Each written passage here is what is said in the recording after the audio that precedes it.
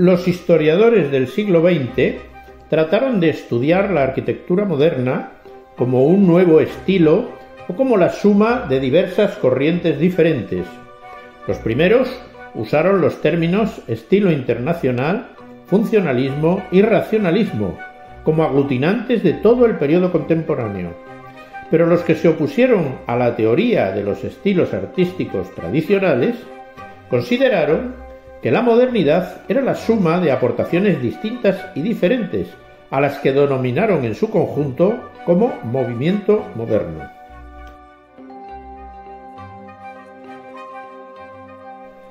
Los cuatro primeros maestros que se distanciaron de los estilos artísticos existentes a principios del siglo XX son los pioneros de la modernidad en la arquitectura. Trabajaron antes de la Primera Guerra Mundial y debieron luchar para superar el eclecticismo dominante y el Art de moda. Cada uno de ellos se enfrentó al cambio de la arquitectura de forma diferente.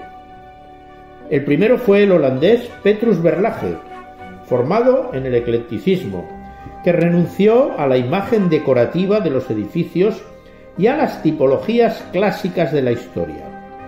El arquitecto Berlage es el padre de la vanguardia, el más veterano de los pioneros.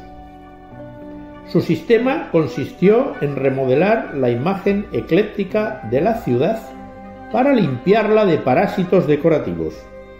La arquitectura será el resultado de cumplir un grupo de necesidades sin tener que ajustarse a las tipologías estandarizadas de la historia. Su obra más importante fue la Bolsa de Ámsterdam, construida en los primeros años del siglo XX. Las necesidades de un espacio amplio para la sala de negocios le llevó a utilizar una estructura espacial más propia de las estaciones de ferrocarril, mientras que la fachada, con la dignidad que el dinero tiene para los holandeses, recuerda a un templo de la prosperidad. Todo ello desprovisto de lujos innecesarios y adornos académicos. El segundo fue Peter Behrens, que asocia la construcción con el mundo industrial de su tiempo, facilitando la simplicidad formal de los objetos frente al dominante diseño artístico historiado y renovando también el diseño de las fábricas. En 1907, un grupo de artistas y arquitectos alemanes crearon en Berlín la asociación Verbund, cuyo objeto era aportar a la industria diseños modernos de calidad, haciéndolos asequibles a la sociedad en general. El mundo de la producción en serie y de las fábricas será un objetivo de esta vanguardia, a cuyo frente se encontraba el arquitecto Peter Behrens.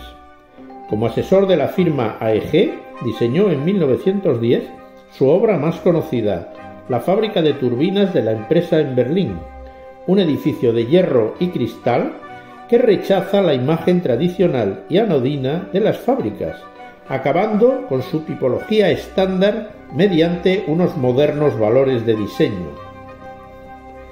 En tercer lugar, el arquitecto austríaco Adolf Loos fue el más radical de todos, recurriendo en sus obras a los volúmenes limpios y a las formas geométricas puras, frente al sofisticado diseño Art Nouveau. Adolf Loos, arquitecto contemporáneo de Behrens, dio por concluido el periodo ecléptico y recargado de la Viena imperial y burguesa, con su obra purista y cubista, enemiga de la decoración modernista que se conocía en Austria como estilo secesión. Publicó un memorándum titulado Ornamento y Delito que muestra su espíritu combativo contra el adorno superfluo en los edificios. Sus obras eran viviendas unifamiliares de formas geométricas y sencillas, como la casa Steiner, o la vivienda Scheu, que fue la primera casa centroeuropea con cubierta o terraza plana. En Viena construyó su obra más famosa, el edificio Loshaus, levantado frente al Palacio Real.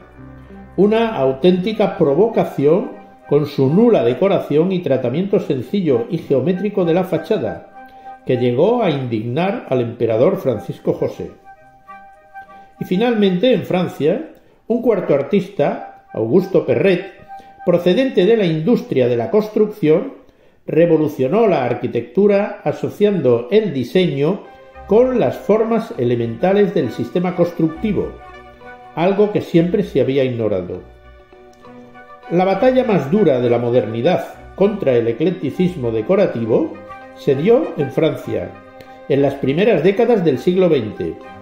Augusto Perret, fabricante de hormigones, como pionero de las vanguardias, utilizó el diseño racional de la estructura de los edificios como la base de su imagen volumétrica.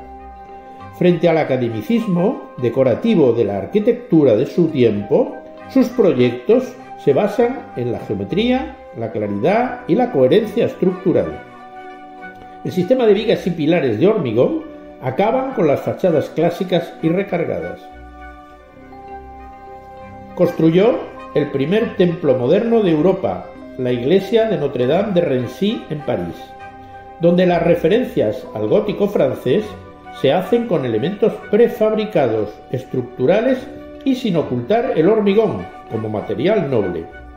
La arquitectura se organiza con la estructura y los cerramientos, ajena por completo a los adornos.